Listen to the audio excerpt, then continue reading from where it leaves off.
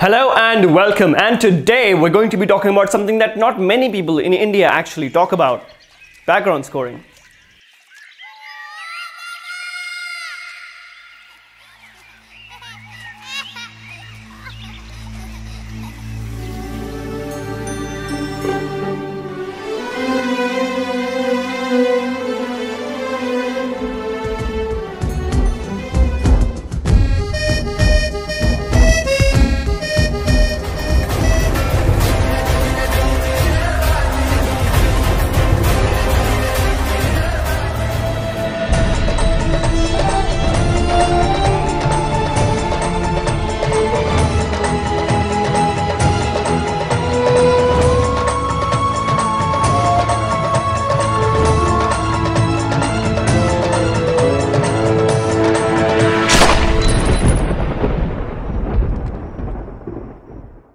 First of all, I would like to start this video by saying that I am not a background composer. I don't intend to be a background composer. I'm just a guy who loves music. My day begins with music, my day ends with music, and for most part of the day, I have a lot of music with me. And the amount of music that I've listened to in my life, well, it's it's it's a lot basically. Now, we come to background scores. What is a background score? What is the difference between the music director of the film and the music composer of the film? People usually think that the music director himself is responsible for the music that plays in the background of all the scenes in the film, and that is actually not true at all because the music director, while he composes all the songs for the film, the music composer actually composes the background score, the background music that plays through the entirety of the film. It's like composing one stretched song which plays throughout the entirety of the film. While the intention of the music that plays as songs is completely different, the intention of a background score is basically to provide depth and meaning to each and every scene of the film. It's a very subconscious thing that we feel when we listen to a background score while we watch a scene on, on, on the big screen. Whatever drives my heart or usually every human being's heart, I think, in my opinion, it is better felt in something that is a lot more orchestral or symphonic than the commercial music that we usually listen to. And I, ever since I was a child, I used to love background scores, and all my friends and my family used to say, "Pagal hai bevkufi, kya sunta rehta hai?" Now, my journey actually began with this. This is a this is an audio tape of the movie Bombay, Mani Ratnam's movie Bombay, and uh, I think it came out in uh, 1994 and it's it cost 26 rupees. And these little background scores always used to be on side 2 of uh, of the tape. And even over here it says side 2 song number 2 bombay theme.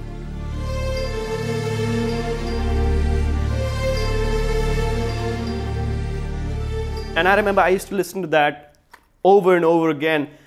Uh, it's it was just it was just a very whimsical experience. And the background score of this movie was of course composed by the wizard that we know as A.R. Rahman. He was the one who actually got me into background scores. And then came many other beautiful movies like uh, uh, like Dil Se and uh, Zubeidaa. And I remember this movie, the music of this movie, Maachis, was also very, very fine, very fine music.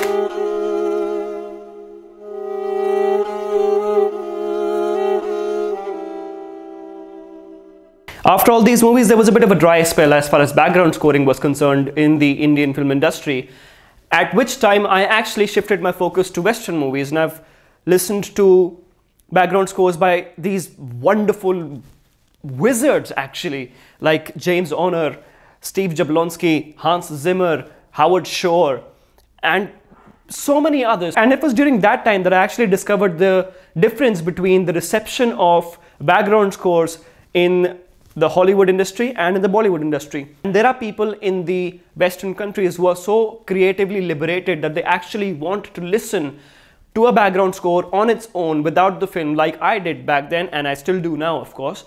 And I always used to think that why does this not happen in India? I actually had the privilege of talking to one of the most talented background composers that Bollywood has seen or will see more of in the future. And he told me that in India, background scoring is not so popular in demand so that they can actually take the same to the publishers to even contemplate a release because it just wouldn't fetch any money. And I think it's an absolute shame because now there are so many wonderful movies coming out with amazing background scores. If you consider uh, Bajirao Mastani was there, Bahubali was there, and uh, now Padmavati, the background score, oh my god, of that movie is just mind blowingly amazing.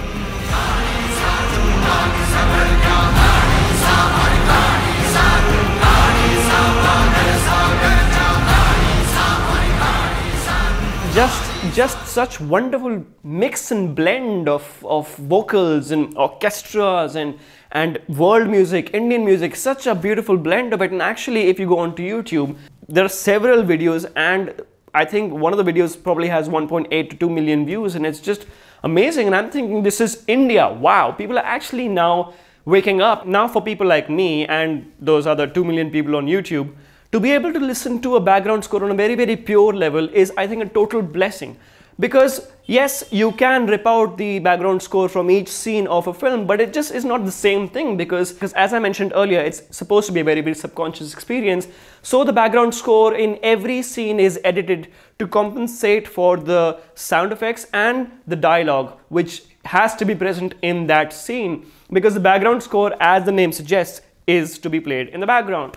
And when you rip out that song from the from the movie, it's just not the same thing because if it's a vocal track, for example, the vocals will always be subdued to compensate and to bring in or to uh, enhance the dialogue and the sound effects that come into the same scene. And when you listen to that track, you have to make peace with whatever the sound effects, extra sound effects, or extra dialogue there is in the film. You can't do anything about it because the background score is just not available in its purest form. And India has produced so many movies, and recently, background scoring has become so next level like for example, um, A.R. Rahman has of course done wonders with background scores and then Mr. Monty Sharma who's done the background scoring for Ram and several other beautiful movies like Black also and other non-Sanjay Leela Bhansali movies as well. And now Mr. Sanchit Balhara who's actually done the uh, background scoring for Bajirao Mastani and Padmavati.